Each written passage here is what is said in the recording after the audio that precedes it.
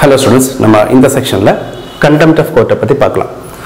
So recently வந்து தமிழ்நாட்டில் journalist Savukku Shankar வந்து கண்டெம்ட் ஆஃப் கோர்ட் பிரகாரம் கைது பண்ணியிருந்தாங்க இல்லையா? ஸோ இதனால் வந்து கண்டெம்ட் ஆஃப் கோர்ட் வெரி இம்பார்ட்டண்டாக இருக்குது so TNPSC group two mains prepare பண்ணுறவங்களுக்கு very important and UPSC prepare பண்ணுறவங்களுக்கும் இது ஒரு very important topic so what is the contempt of court so நம்ம கான்ஸ்டியூஷன் ஆஃப் இந்தியாவிலையும் அதே மாதிரி கண்டெம்ட்டுக்கும் தனி ஒரு சட்டமும் கொண்டு வந்திருக்காங்க. ஸோ இந்த ரெண்டு விஷயத்துலையும் வந்து பார்த்தீங்கன்னா கண்டெம்ட்டை பற்றி கரெக்டாக டெஃபினேஷன் கொடுக்கல.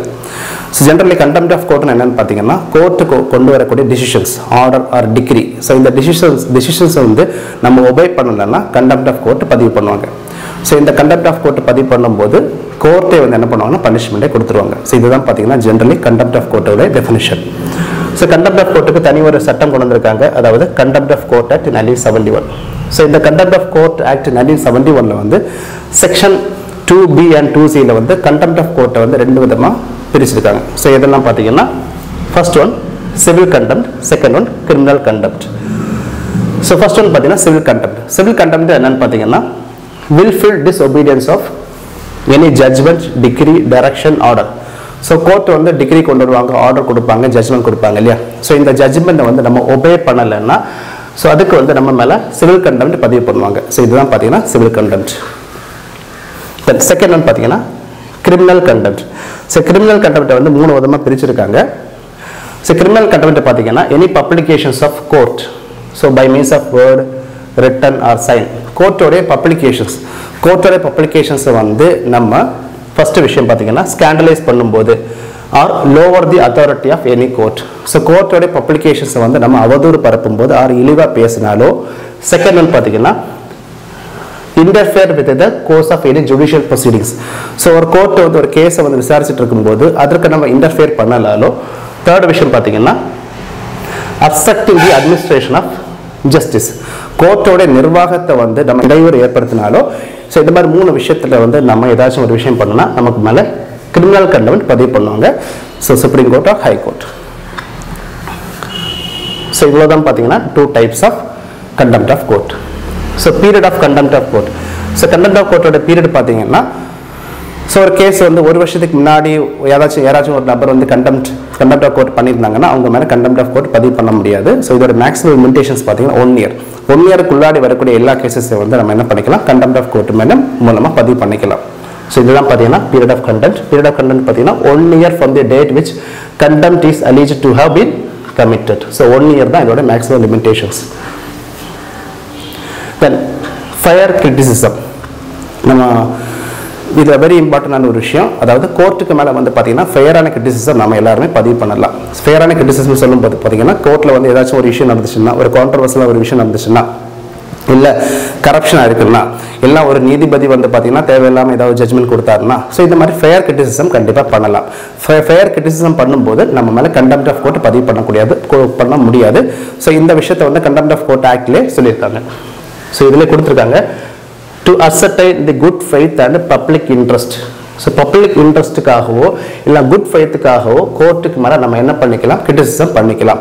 ஸோ இந்த மாதிரி கிரிட்டிசிசம் பண்ணும்போது நம்ம மேலே கண்டெம்ட் ஆஃப் கோர்ட் பதிவு பண்ணக்கூடாது. Then defamation of the judge personally அதாவது ஒரு குறிப்பிட்ட ஜட்ஜுக்கு மேலே நம்ம டிஃபர்மேட்ரி ஒரு குறிப்பிட்ட ஜட்ஜுக்கு மேலே நம்ம பர்சனலி அட்டாக் பண்ணும்போது அதுக்கு எதிராக வந்து கண்டெம்ட் ஆஃப் கோர்ட் பதிவு பண்ணக்கூடாது. ஸோ ஒரு குறிப்பிட்ட ஜட்ஜுக்கு மேலே நம்ம என்ன பண்ணிக்கலாம்? பர்சனலி அட்டாக் பர்சனலி அட்டாக் பண்ணிக்கலாம். பிரச்சனை இல்லை. பட் அந்த மாதிரி பர்சனலி அட்டாக் பண்ணும்போது ஸோ ஜட்ஜோட ஆஃபீஸை வந்து ஜட்ஜோட ஆஃபீஸையோ இல்லைன்னா அதே ஜட்ஜோடைய கோர்ட்டை வந்து கோர்ட்டோடைய நிர்வாகத்தை அஃபெக்ட் பண்ணுறது மாதிரி இருந்துச்சுன்னா அதற்கு எதிராக நம்ம என்ன பண்ணிக்கலாம்? கண்டெம்ட் ஆஃப் கோர்ட்டை பதிவு பண்ணிக்கலாம். ஸோ இதில் கொடுத்துருக்காங்க. பர்சனல் ரெப்புடேஷன்ஸுக்கு எதிராக வந்து நம்ம அட்டாக் பண்ணும்போது ஒரு ஜட்ஜோடைய பர்சனல் ரெப்புடேஷனுக்கு எதிராக நம்ம அட்டாக் பண்ணும்போது அதற்கு கண்டெம்ட் ஆஃப் கோர்ட் பதிவு பண்ண வேண்டிய தேவையில்லை பட் கோர்ட்டோடைய அட்மினிஸ்ட்ரேஷனையோ கோர்ட்டோடைய ஆஃபீஸையோ வந்து அட்டாக் பண்ணாங்கன்னா அதற்கு இன்டர்ஃபியர் ஆயிருந்துச்சுன்னா அதற்கு கண்டெப்ட் ஆஃப் கோர்ட் பதிவு பண்ணலாம். ஸோ இந்த விஷயத்தை கரெக்டாக புரிஞ்சுக்கணும். அதாவது ஒரு ஜட்ஜை பர்சனலி அட்டாக் பண்ணும்போது அதுக்கு கண்டெப்ட் ஆஃப் கோர்ட் பதிவு பண்ண தேவையில்லை. இன்கேஸ் ஒரு ஜட்ஜை வந்து பர்சனலி அட்டாக் பண்ணும்போது அந்த கோர்ட்டோடைய நிர்வாகத்தை அஃபெக்ட் பண்ணாங்கன்னா இல்லைன்னா கோர்ட்டோடைய ஆஃபீஸ் அஃபெக்ட் பண்ணுற மாதிரி இருந்துச்சுன்னா அதற்கு கண்டெப்ட் ஆஃப் கோர்ட் கண்டிப்பாக பதிவு பண்ணி ஆகணும். Then procedure to be adopted in the contempt of proceeding proceedings so contempt of court once பதிவு பண்ணிட்டாங்கன்னா ஸோ இந்த கண்டெம்ட் ஆஃப் கோர்ட்டுக்கு வந்து தனி ப்ரொசீடிங்ஸ் எதுவுமே கிடையாது. ஸோ சிவில் ப்ரொசீடிங்ஸ்லையும் கிரிமினல் ப்ரொசீடிங்ஸ்லையும் வந்து இதற்கு தனியாக வந்து எந்த எந்த ஒரு ப்ரொசீஜரும் கொடுக்கப்படல. அண்ட் கோர்ட் வந்து இந்த மாதிரி ப்ரொசீ ப்ரொசீஜரை ஃபாலோ பண்ணணும் தேவையில்லை. So by piece of natural justice natural justice இயற்கை நீதிக்கு தகுந்த மாதிரி தான் என்ன பண்ணுவாங்கன்னா பனிஷ்மெண்ட் கொடுப்பாங்க. ஸோ இதை இதில் சொல்லியிருக்காங்க. சட்டத்தில் வந்து செக்ஷன் ஃபோர்டீன் அண்ட் செக்ஷன் ஃபிஃப்டீனில் வந்து இதை பற்றி ப்ரொசீஜர் சொல்லியிருக்காங்க. இதில் கரெக்டாக கொடுத்துருக்காங்க. கோட் ஆஃப் கிரிமினல் ப்ரொசீஜரும் அதே மாதிரி கோட் ஆஃப் சிவில் ப்ரொசீஜரையும் இந்த சட்டத்துக்குள்ளாடி இன்க்ளூட் பண்ண முடியாது. ஸோ இதுக்கு தனி ப்ரொசீஜர் வந்து கொடுக்கப்படலை. But my piece of natural justice வந்து இவங்க என்ன பண்ணுவாங்கன்னா பனிஷ்மெண்ட் கொடுப்பாங்க.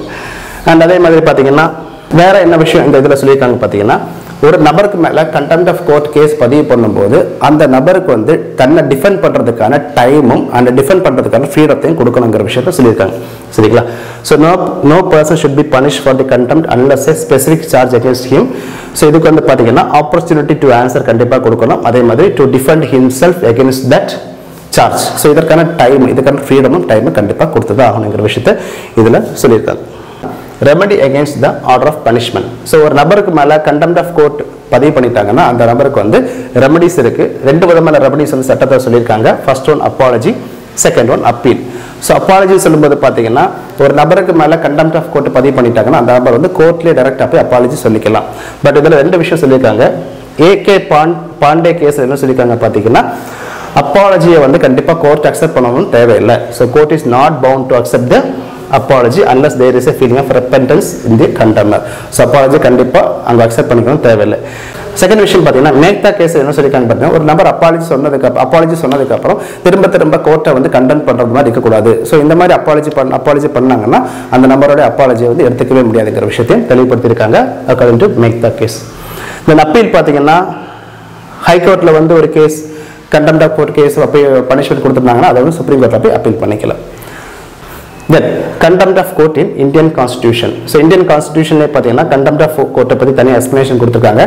சுப்ரீம் கோர்ட் பிரகாரம் பார்த்தீங்கன்னா article one hundred and twenty நைன்லையும் அதே மாதிரி ஹை கோர்ட்டில் பார்த்தீங்கன்னா டூ ஹண்ட்ரட் அண்ட் ஃபிஃப்டீன் ஆர்டிகல்லையும் வந்து இந்த கண்டெம்ட் ஆஃப் கோர்ட்டை பற்றி சொல்லியிருக்காங்க. ஸோ இவ்வளோ தான் பார்த்தீங்கன்னா பேசிக்கான விஷயங்கள். தேங்க்யூ வெரி மச் கிளாஸில் வந்து நான் ரெண்டு விஷயத்த சொல்ல மறந்துட்டேன். ஸோ அந்த விஷயத்தை நான் எக்ஸ்பிளனேஷன் பண்ணிக்கிறேன். இந்த ப்ரொசீஜர்ஸ் அதாவது கண்டெம்ட் ஆஃப் கோர்ட் ப்ரொசீடிங்ஸில் வந்து ப்ரொசீஜர்ஸை ஃபாலோ பண்ணும்போது இந்தியன் எவிடன்ஸ் ஆக்டில் சொல்லியிருக்கிற எல்லா விஷயமும் இந்த கண்டெம்ட் ஆஃப் கோர்ட் ப்ரொசீடிங்ஸில் இன்க்ளூட் ஆகாதுங்கிற விஷயத்த சொல்லியிருக்காங்க. அண்ட் அதே மாதிரி பார்த்தீங்கன்னா சுக்தேவ் சிங் வெர்சஸ் தேஜ் சிங் கேஸில் வந்து சுப்ரீம் கோர்ட் என்ன சொல்லியிருக்காங்க பார்த்தீங்கன்னா ஒரு குறிப்பிட்ட ஜட்ஜை வந்து பர்சனலி அட்டாக் பண்ணும்போது கோர்ட்டோட நிர்வாகம் அஃபெக்ட் ஆச்சுன்னா இந்த மாதிரி கண்டெம்ட் ஆஃப் கோர்ட் கேஸை விசாரிக்கும் போது அந்த குறிப்பிட்ட ஜட்ஜு வந்து நீதிபதியாக இருக்கக்கூடாதுங்கிற விஷயத்தை வந்து தெளிவுபடுத்தியிருக்காங்க. அதாவது கண்டெம்ட் ஆஃப் கோர்ட் விசாரிக்கும் போது எந்த நீதிபதி அஃபெக்டாக இருக்காங்களோ அந்த நீதிபதி வந்து அதே கேஸில் வந்து விசாரிக்கக்கூடாதுங்கிற விஷயத்தை வந்து இந்த சுக்தேவ் சிங் கேஸில் வந்து சுப்ரீம் கோர்ட் தெளிவுபடுத்தியிருக்காங்க. ஸோ இதுதான் பார்த்தீங்கன்னா ரீசன்லி நடந்த ஷவுக்கு சங்கர் கேஸில் வந்து கான்ட்ரவர்ஸில் நம்ம பேசப்படுறோம். So thank you very much students